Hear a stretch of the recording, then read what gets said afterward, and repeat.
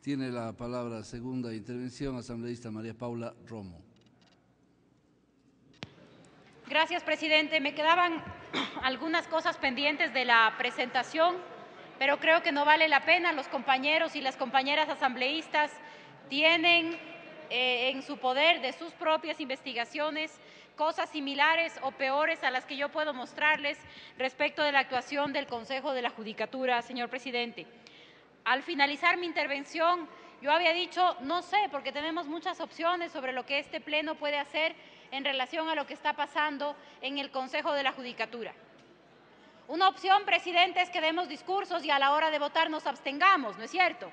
Una opción es que demos discursos y a la hora de firmar el juicio también nos abstengamos. Una opción es que demos discursos y a la hora de votar no votemos. Esa siempre es una opción y hemos visto que ha sucedido. Entonces me parece que hay que plantearla con toda honestidad porque no, no podemos decirle al país que vamos a entrar en un proceso de fiscalización, dar lecciones sobre cómo hay que fiscalizar y cuando se puede decidir sobre el juicio político, entonces abstenernos. Yo creo que eso hay que revisarlo.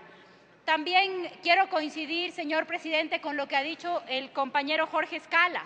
La presentación de la mañana, compañero Jorge Escala, claro que estaba incompleta. Nos faltan muchas cosas que se deben decir y nos faltaría el tiempo para hacer una lista de todos los problemas que hoy enfrenta el Consejo de la Judicatura.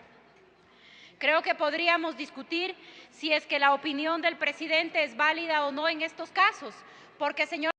la carta que usted recibió de la Comisión de Justicia y Estructura del Estado tiene fecha muy anterior a cualquiera de los comentarios del presidente de la República en los últimos enlaces sabatinos y de ser necesario, compañeros asambleístas, ustedes podrían revisar esa fecha y ver que la Comisión de Justicia lleva meses en esta preocupación. También podríamos entrar a discutir, señor presidente, si es el presidente de la República el que ha pedido la sanción para los jueces y fiscales de la Cocha si es el compadre general del Estado el que le sacó a los fiscales indígenas al otro día. Creo que todas esas cosas podríamos discutir y tener diferencias políticas, pero sí podríamos tener una coincidencia, señor presidente, en la necesidad de vigilar de cerca al Consejo de la Judicatura, ojalá también en la posibilidad de emprender un proceso de fiscalización más serio que nos pueda llevar a un juicio político. Y yo quiero, entre esas, todas esas opciones, señor presidente, decir que también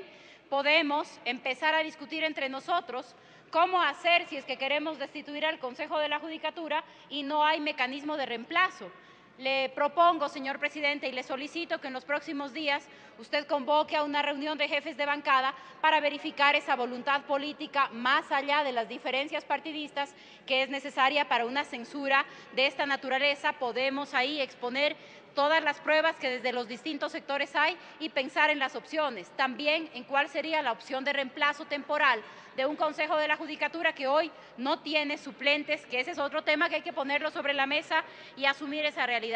Y finalmente, señor presidente, quisiera también proponer para el debate posterior, porque eh, estoy segura de que en esta mañana no se ha cerrado el tema tampoco, pero quisiera proponer la posibilidad de hacer una reforma legal, señor presidente, que impida que los actuales vocales del Consejo de la Judicatura vuelvan a participar y que permita también que quede claro en la ley que todo lo que las autoridades de transición están haciendo en términos de personal, de poner a 300 personas a dedo, como dicen entre ellos, esas son las acusaciones, que quede claro que todo esto es provisional y que no podrán dejar ya así de enviciado, así de gris el panorama de la función judicial para cuando empiece el nuevo periodo. Creo que hay algunas cosas que también se pueden hacer a través de una reforma legal y todas esas propuestas, señor presidente, las vamos a trabajar. Ojalá lo podamos hacer más allá de las diferencias de partidos políticos, más allá de las diferencias ideológicas, porque ninguna ley que hagamos en esta Asamblea va a funcionar mientras la justicia esté de venta, con toda la salvedad y salvando a cientos y cientos de funcionarios honestos que trabajan todos los días en la función judicial. No podemos generalizar, pero tampoco podemos negarnos el gran conflicto, el caos, la crisis que hay en la función judicial en el país y me parece que hoy lo que hemos hecho es una primera revisión